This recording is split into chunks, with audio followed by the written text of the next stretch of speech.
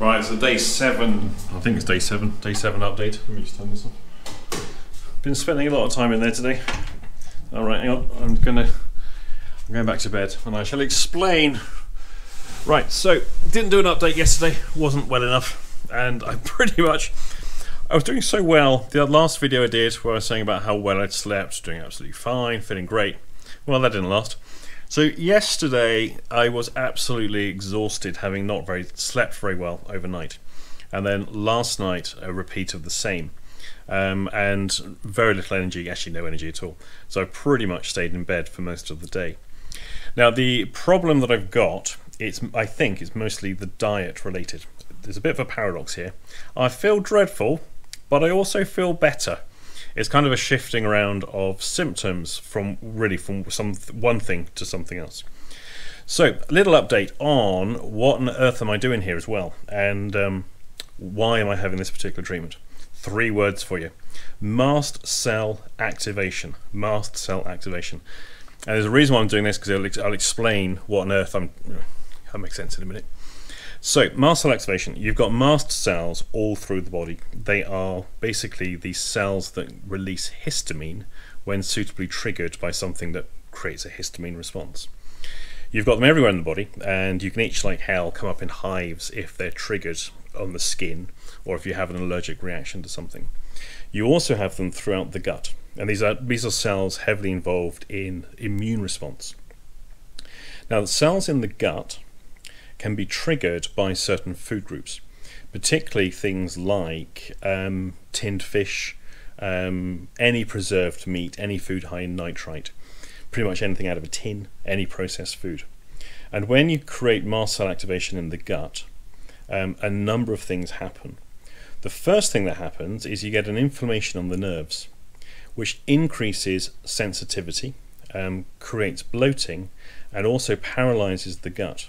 And this is one of the reasons why so many people who have been told that they have irritable bowel syndrome, whether it's the, the diarrhea version or the constipated version, um, may well actually have something else entirely. I mean, what is IBS anyway? It's probably one of those meaningless um, diagnostics. What it is, it's a let me give you a diagnosis and get you out of my surgery quickly, please, young man. It's one of those diagnostics. So, by having mast cell activation in the gut, basically you paralyze the gut, create sens sensitivity, create bloating, all the symptoms of IBS. So, you can have the um, low histamine diet, which will help some people. Basically, eliminate all processed food, all preserved foods.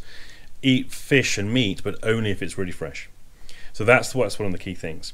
Now, I I chanced upon this when I was suffering from COVID.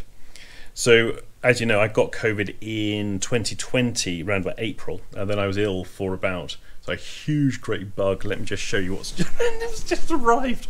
How? How's he got in here? Right, there's my. Um, I think is that a stink bug? Is that what they called?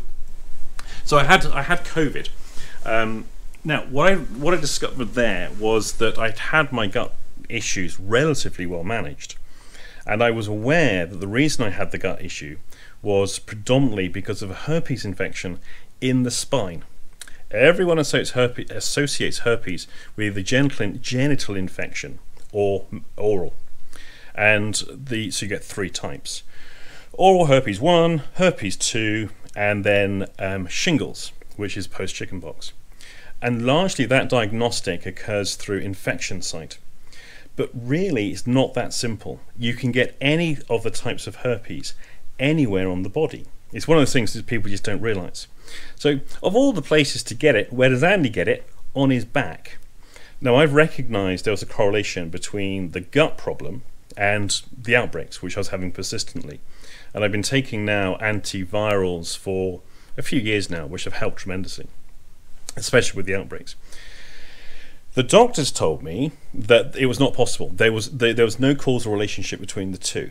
Hmm, not convinced by that. I had IBS, here, have some antidepressants, and basically fuck off. Wasn't convinced. Then I discovered, whilst I had COVID, that if I took diphenhydramine, that to you Americans is Benadryl, and in the UK that's Nytol, all the symptoms went away. So I, that caught my, caught my attention. That's how I discovered about mast cell activation. What does herpes infection do when it affects the spine and gut? Mast cell activation. Oh, what does COVID do? Mast cell activation. Those three magic words. So, long story cut short, I'm already aware of the relationship between the cells in the gut and the fecal microbiota, the flora and fauna gut bacteria, good and bad and indifferent. And there's a very strong relationship between the two. So, the theory is by fixing the way all the microbes in the gut work, food will be processed and digested differently, less, less mast cell activation occurring. So, that is what I think I'm now experiencing. My intestines are magnificent, magnificent intestines. The difficulty I've got is overnight the inability to sleep. Um, you know, if you if you've ever had that kind of feverish night's sleep where you're never quite awake, but you're never quite asleep. Well, that's been me for the last two nights, and so I think that may well be a combination of the diet that I'm having, which is just awful here. I've got to be honest. Uh, the place that I'm staying in, because I'm the only person here. There's no, there's very little, there's no facilities basically. There is breakfast served in the morning. I haven't bothered. It's just terrible. So I'm living off Lidl, which is directly opposite where I'm staying, um, and Lidl's food here is quite limited. They don't do chicken here. I've noticed this. They, it's very hard to get anything that's basically not sausage, heavily preserved processed sausage. Um, so if I want protein, that's pretty much what I'm lim- oh, or tinned fish. Are two foods that I really I need to avoid. So I think it's a combination of both the diet that I'm having and mast cell activation as a result of that, and um, low level infection. I'm absolutely, I probably don't look it, but I'm absolutely roasting. Um, and I've been like that for the last 48 hours. And I'm sure that's because of the bacteria that's being put into my body and the immune response that's occurring. So it's a mixed bag. Gut wise, despite the diet issue and, of course, low fiber issue, that's the other one, um, things are tremendously improved. I can't even begin to. I'm so happy, I can't even tell you. Probably don't look it and don't really feel it that much at the moment. Um, but systemically, I think I need to go home, get back to a, a standard high fiber, much healthier diet than I've currently got. And once I've adapted to the bugs that have been put in, I think things will settle down. So that's the update for now. Um, sorry, it's a bit rambling. Um, two more implantations to go. I've got my PCR test first thing tomorrow morning, so hopefully they'll let me fly home on Saturday because I start the IEMT training on Monday. I'll put a link in the description for those who want to join me for that. It's for people who've already done the practitioner. Doesn't matter who you did the practitioner with, but the advanced IEMT with myself starts on Monday. Um, so may see some of you there. That's the end of this rambling update.